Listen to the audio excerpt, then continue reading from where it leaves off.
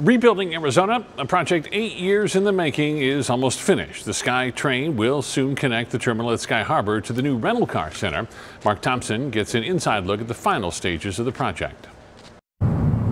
Testing currently underway on stage two, the final stage of construction before the Phoenix SkyTrain is complete and opens later this summer. It's very exciting. We're excited to provide this convenience to our travelers. Airport spokesperson Heather Shelbrack says the SkyTrain will be upgrading from two cars to three and will soon allow passengers to ride from the 44th Street station and terminals directly to the rental car center in just 13 minutes.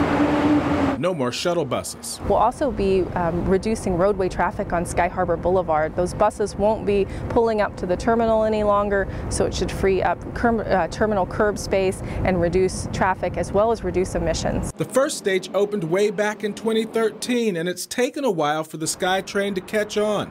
Besides a few airport staff, this 2019 rider had an entire car to herself. It seemed like it was only employees of the airport, and that definitely is an odd sight to see. But major improvements since then, including a brand new park and ride station at 24th Street and art installations at every stop. The trains are free, they run 24 hours a day, and they arrive and depart every few minutes. The SkyTrain price tag, 745 million, the money raised from airfares and rental car fees. No local tax dollars or tax dollars are used for this project. Eco-friendly materials used as well.